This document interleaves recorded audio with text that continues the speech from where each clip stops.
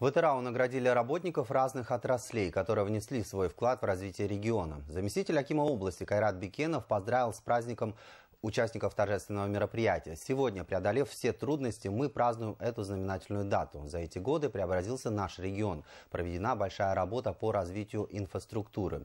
Все эти масштабные работы делаются во благо людей. На сегодняшнем торжественном мероприятии поздравляю вас от имени главы региона Мухамбета Досмухамбетова. Пользуясь случаем, хочу выразить особую признательность работникам сферы медицины. Очевидно, что ваш самоотверженный труд снискал уважение населения, сказал Кайрат Бекенов.